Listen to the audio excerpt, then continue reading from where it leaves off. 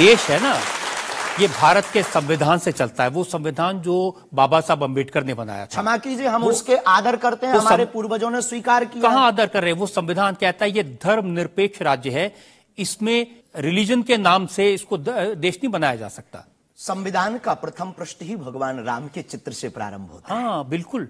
संविधान का प्रथम पृष्ठ जिस देश का संविधान भगवान राम से प्रारंभ हो तो क्या वो हिंदू राष्ट्र राम राज्य नहीं हो सकता है?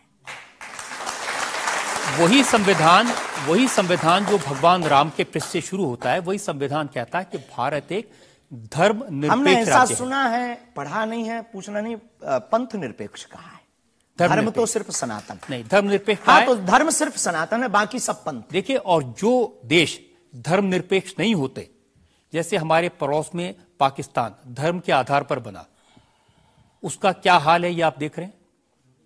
देख रहे हैं। लोगों के पास खाने को रोटी नहीं है आतंकवाद चरम सीमा पर है। जब इस्लाम के नाम पर देश बनेगा धर्म के नाम पर बनेगा तो ये होगा। बिल्कुल बात सही है आपकी। लेकिन हम आपको बता दें बाकी सब पंथ हैं धर्म सिर्फ़ सनातन है।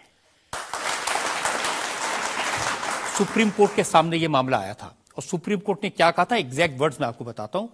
सुप्रीम कोर्ट ने कहा कि भारत जैसे धर्म निरपेक्ष देश में धर्म के आधार पर घृणा फैलाने की लोगों को बांटने की गुंजाइश नहीं है। जी। सुप्रीम कोर्ट तो ये नहीं करना चाहिए। हमारी तरफ़ से आदर है लेकिन भारत हिंदू राष्ट्र था है बस घोषणा की ज़रूरत है। देखिए आप रंग के नाम पर फ़िल्मों का विरोध करते हैं। आपने कहा कि ये फ़िल्म नहीं चलने देंगे। हम सिर्फ़ सनातन के विरोधियों का विरोध करते हैं। कोई रंग से कोई व्यक्ति से किसी संप्रदाय से हमारा कोई विरोध नहीं। सनातन के विरोधी से हमारा विरोध है। वो किसी भी बरादरी या समुदाय या समाज का चाहे भले ही क्यों। आपको यह भी समझना होगा जिस फ़िल्म का आप इतना विरोध कर रहे थे जिसको आप कह रहे थे कि लोग देखने ना जाएँ उसको करोड़ों ने देखा और वो लोग सुपरहिट फ़िल्म हुई। होनी भी चाहिए। हमने सुना सुधार भी किया है। और सुधार करके कोई करे तो फ़िल्मों से हमारा कोई विरोध नहीं है क्योंकि वो एक कला है और कला के प्रति हमारा सम्मान है। नहीं लेकिन आप तो बार बार कभी आप आमिर खान की फ़िल्म का ज़िक्र करते हैं कभी क्योंकि वो पीके वाली मूवी बना करके भगवान को गाल पर चिपका करके शंकर जी को बाथरूम में बंद करता है। तो क्या ये सही है? जिसके प्रति हमारी आस्था है लाखों लोग कहेंगे इस बात को सुनने के बाद जिनके प्रति हमारी आस्था है उनके साथ ऐसा मज़ाक किया जाए भगवान के साथ खिलवाड़ किया जाए क्या ये सही है? और उसकी बात बोलना अगर विरोध है तो हम मरते दम तक विरोध करेंगे। शास्त्री जी मुझे कभी कभी लगता है कि चूँकि आपकी उम्र कम है, जैसे आप भिंडरान वाले को नहीं जानते, ऐसे ही फ़िल्मों का इतिहास भी आप नहीं जानते। एक फ़िल्म आई थी, बैजू बावरा। उसमें एक भजन था, मन तड़पत हरि दर्शन को आज, जो सबसे हिट था। इसे लिखा शकील बदायूनी ने, म्यूज़िक दिया नौशाद ने, गाया मोहम्मद रफी ने। हम आपको बहुत विनम्रता पूर्वक कहें कि हम किसी भी समुदाय के विरोधी नहीं है। पुनः हम कहते हैं हम रहीम को मानने वाले और कबीर का सम्मान करने वाले हैं। हम शेख मुबारक के साथ मित्रता निभाने वाले ये आपको समझने की ज़रूरत है ये मलिक मोहम्मद जायसी और रसखान का देश है जहाँ पर उन्होंने भगवान का गुणगान किया। हमने कभी विरोध नहीं किया। सम्मान किया रसखान के पद गाए। रसखान के प्रति हमारा आदर है और भारत में सामाजिक सौहार्दता बनी रही ये हमारी मांग है। और क्या ये नाजायज मांग है? नहीं जिन आमिर खान का ज़िक्र कर रहे हैं उन्होंने जब लगान फ़िल्म बनाई उस फ़िल्म में जो भजन था वो जावेद अख्तर ने लिखा और रहमान ने उसका म्यूज़िक दिया। जी तो उसके प्रति सम्मान है। हमने सुना नहीं है अभी तक उस फ़िल्म को देखा नहीं है पर उसके प्रति हमारा सम्मान है। उसके प्रति हमारा कोई अगर वीडियो के लिए विरोध का मिले तो दिखाई मैं भेजूँगा आपको यही आप नहीं नहीं, नहीं हमारा विरोध उस गाने के प्रति। नहीं उस गाने के प्रति हाँ, नहीं, नहीं है। आप बस हमारा तो सिर्फ़ सनातन की बात है। फंडा सिर्फ़ सनातन सनातन। सिर्फ़ मैं कह रहा हूँ कि आपको जिसका विरोध करना है उसके बारे में थोड़ी सी जानकारी हासिल कर लीजिए। आपको न मिले तो मुझसे पूछ लीजिए।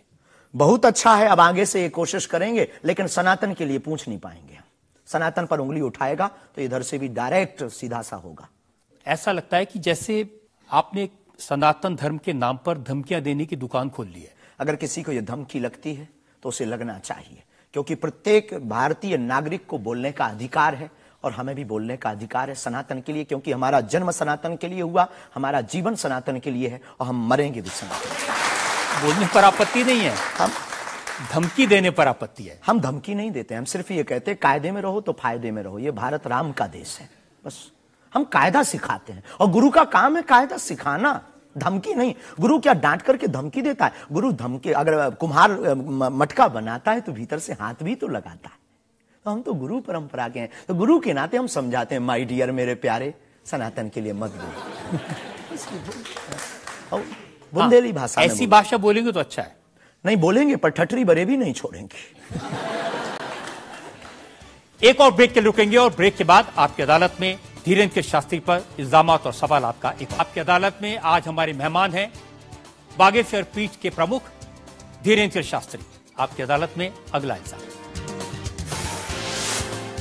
आपकी अदालत में बागेश्वर धाम के प्रमुख धीरेन्द्र कृष्ण शास्त्री पर इल्ज़ाम है कि ये दुष्प्रचार करवाते हैं। देखिए एक उदाहरण मैं आपको देना चाहता हूँ। यूट्यूब पर मैं देख रहा था। एक वीडियो है आपका और उस वीडियो को देखने से ये इंप्रेशन आता है कि जैसे प्रधानमंत्री नरेंद्र मोदी आपके दरबार में आए। और एक नहीं तीन तीन ऐसे वीडियो हैं। बागेश्वर धाम ऑफिशियल चैनल पर? अब आपके समर्थकों ने बनाया मैं आपको दिखा देता हूँ आप बताइए कि वो आपका है क्या अच्छा। नहीं। बागेश्वर धाम सरकार पहुँचे पीएम मोदी। तो क्या मोदी जी भी बागेश्वर धाम सरकार के भक्त हो गए हैं? आए दिन बागेश्वर सरकार के पास नेताओं की भीड़ लगी रहती है, जिसमें प्रधानमंत्री नरेंद्र मोदी जी का नाम भी शामिल है, जो कुछ दिन पहले ही बागेश्वर धाम सरकार के दर्शन करने पहुँचे थे। और कहा जाता है? कि कुछ दिन पहले नरेंद्र मोदी जी भी बागेश्वर धाम सरकार से अपनी अर्जी लगवाने आए थे। तो आइए सुनते हैं स्वयं पंडित धीरेन्द्र शास्त्री से।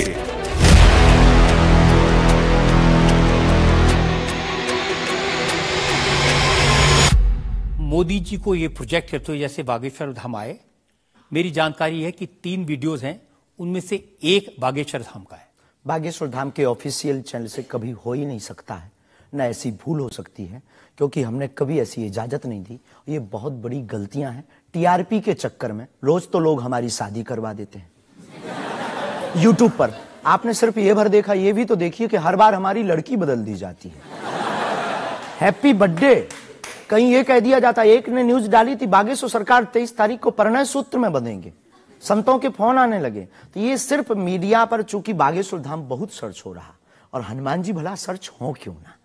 हनुमान जी तो लोगों की श्वास में, ये पवन पुत्र हैं। तो लोग बागेश्वर धाम बालाजी के नाम से सर्च करते हैं तो लोगों को जो कुछ यूट्यूब वाले हैं, सब नहीं। कुछ यूट्यूब वाले हैं जो अपनी व्यूवरशिप बढ़ाने के चक्कर में इस प्रकार का कुकृत्य करते हैं जो दुष्प्रचार है। और बागेश्वर धाम ने इस पर अनेक बार कार्रवाई भी की उनके खिलाफ नोटिस भी भेजा और अनेक बार डिस्क्लेमर भी बागेश्वर दरबार में हमने दिया है कि किसी भी प्रकार की भ्रामक जानकारी से बचें। धाम का इस प्रकार से कोई भी लेना देना नहीं है। ये खुद की निजता के साथ वो बेफुजली के कार्य कर रहे हैं और बागेश्वर धाम इसके लिए कानूनी कार्रवाई भी करवाएगा। शास्त्री जी प्रधानमंत्री को लेकर इस तरह की वीडियो बागेश्वर धाम के नाम से जाएँ तो आपको नहीं लगता कि ये भोले भाले लोगों के लिए मिसलीडिंग है? लोग ऐसी बातों पर भरोसा कर लेंगे। धाम से तो हुआ नहीं कोई कर रहा हो तो खबर नहीं है। पर कर रहा जो उसके खिलाफ कानूनी अगर आपके नाम भी कोई कर रहा है तो भी आपको कोई एक्शन लेना चाहिए। आपको कुछ कार्रवाई की है? हाँ अनेक बार। नोटिस भी भिजवाया है। अनेक बार कितने चैनलों को बंद करवाया है, जो कई बार कोई खान के खिलाफ कर देते थे हमारे लिए, कई बार कोई धमकी डाल दे, बागेश्वर धाम पहुँचे जेल, अब वो ऐसी हथकड़ी वो पुलिस अगल बगल लगा देते थे। तो इनसे हमारी, आपके सोच से भी प्रार्थना इसको बहुत देखा जाएगा, आपकी अदालत को जब भी देखा जाए, इस प्रकार की भ्रामक जानकारी से बचें। हम इस प्रकार कोई भी हमारा दरबार या कथा, प्रदर्शन का विषय नहीं है, हमारी कथा और दरबार दर्शन का विषय तो आपकी तरफ़ से मोदी जी के वीडियोस को लेकर के क्या कार्रवाई की गई? इसमें अभी इस, इसकी हमें आज पता लगा है कि मोदी जी का बना है। पूर्व में हमको वो जेल वाला बताया था हमें इसका ज्ञान नहीं है लेकिन हम जाते ही तुरंत आपकी अदालत के बाद लीगली कार्रवाई एफआईआर अपने अमुक थाने पर करवाएँगे। अच्छा। इसके अलावा और भी बहुत सारे वीडियोज़ हैं। देवेंद्र फडनवीस का है मनोज तिवारी का है। ये तो ये आए भी फर्जी। ये भी फर्जी वीडियो है अरे नहीं ये तो आए थे। इनके मत करवा दियो ना ना ना, ना। देवेंद्र फडणवीस जी भी आए थे मनोज तिवारी हमारे बहुत प्रिय शिष्य हैं वो भी आए थे और बहुत आए हैं पर मोदी जी नहीं आए हैं। हाँ ये बता देते हैं तो इन इन पे एफ़ आई आर जी डिलीट ना करवा दियो आप रोक दियो लेकिन आपके एक दो सेंटेंसेस हैं जिसमें आप कुछ मोदी जी कह रहे हैं मोदी जी आइए। हाँ वो हम लंदन में दरबार में थे। ये शायद उससे अगर ये जोड़ा हो पूरा तो देखा नहीं, उससे जोड़ा हो तो खबर नहीं हौस नहीं। मोदी जी, लं- वो जहाँ लंदन में राम कथा हम कर रहे थे तो श्री राम मंदिर के, सनातन मंदिर के जो प्रमुख हैं, वो एक मोदी जी हैं और वो भी गुजराती हैं। तो वो दरबार में बैठे हुए थे। किसी कारण उनकी व्यवस्था के कारण, प्रशंसा के लिए उनका ज़िक्र आया तो लोगों ने शायद वो कट करके उठाया हो। हमारे स्मरण में ऐसा है। लेकिन ये भी गलत है। ये भी अपराध है। वो भी ऑफिशियली बिना लीगली सहमति लिए बिना आप कोई भी वीडियो शेयर या वो नहीं कर सकता, ऐसा कुछ नियम हो, है। तो ये भी गलत है। मैं आपको बताऊँ, शास्त्री जी, मैंने 40 साल हो गए मुझे पत्रकारिता में, ऐसे बहुत सारे उदाहरण मैंने देखे हैं। चंद्रा स्वामी को उदाहरण देखा था। वो नरसिम्हा राव के साथ उनकी तस्वीरें, राजीव गांधी के साथ उनकी तस्वीरें, जॉन मैकेंद्रो के साथ फिर भी मांग पूरी नहीं होगी। अगर हिंदू राष्ट्र आप कह देंगे कि बन गया तो हम अखंड भारत मांगेंगे। तो तो। स्केल थोड़ा बढ़ाइए ना उनसे कहिए कि पुतिन को समझाएँ कि यूक्रेन से अपनी सेना वापस ले ले। आइए। ये तो ये तो अंतर्राष्ट्रीय क्योंकि उससे जो यूक्रेन क्रिश्चियन मुल्क है हम अपनी पता चलेगा कि सनातन धर्म की शक्ति कितनी है। हम अपनी धर्म से अपनी तरफ़ से प्रतिदिन विश्व में कल्याण हो विश्व में शांति हो ये अर्जी लगाते हैं। और हनुमान जी ने रावण को भी समझाया था मान जा भगवान है वापस कर दो जानकी माता को। लेकिन जिसकी आ गई हो तो हनुमान जी की बातें उसे नहीं भाती हैं। गुरु के नाते हमने भी प्रार्थना की। अब किसी की आ गई हम जो बताने हमारे पास लोग आते महाराज जी हम मर ना जाएँ। अब उसको क्या कहें कि जो बता रहा उसे भी मरना है। हद हो गई तुम तुम पागलों जैसी बात करते मेरे पागल। लेकिन हम श्रीमान जी बड़ी विनम्रता पूर्वक कहें कि अगर आपको लगता है तो आपको अर्जी लगाने एक बार बागेश्वर धाम नहीं ये अर्जियाँ लगाने का काम तो आपका है मेरा नहीं है। और अंतर्राष्ट्रीय विषय पर अब टर्की में इतना बड़ा जलजला आया है, इतना बड़ा भूकंप आया है, हज़ारों लोग मर गए हैं तो कुछ आपको अर्जी लगानी चाहिए? बिल्कुल, हमने प्रार्थना तुरंत की। और हम प्रार्थना करते कि प्रतिदिन जो भी हमारे पास है, चूरन चटनी, हम अपने गुरुजी से और बालाजी से प्रार्थना करते विश्व का मंगल हो। सबका भला हो इससे आपको फ़र्क नहीं पड़ेगा कि वो क्रिश्चियन कंट्री है या इस्लामिक बिल्कुल भी नहीं। हम तो खुद गए हैं। हम तो पूरी दुनिया का मंगल की कामना। हम उस धर्म से हैं जहाँ वसुदेव कुटुंबकम की चर्चा की जाती। सर्वे भवंतु सुखना सर्वे संतु निरामया। सब में मंगल हो। मंगल भवन अमंगलहारी। हम ऐसे नहीं हम मानवता के हैं। जिसके अंदर दुख है हे बालाजी उसके संकट आप संकट मोचन है उसके संकट मिट जाए। हमें कोई फ़र्क नहीं पड़ता। ये अच्छी बात आपने मुकदमा चलाया। बागेश्वर धाम के प्रमुख धीरेन्द्र कृष्ण शास्त्री पर। हमने उनसे पूछा उनके चमत्कारों के बारे में उनके प्रवचनों के बारे में उनके धमकी भरे बयानों के बारे में उनके स्टंट्स के बारे में और उनको लेकर सोशल मीडिया में चल रहे मिसलीडिंग वीडियोस के बारे में। अब वक्त है कि आपकी अदालत में आज के जज विनोद अग्निहोत्री के फैसले का।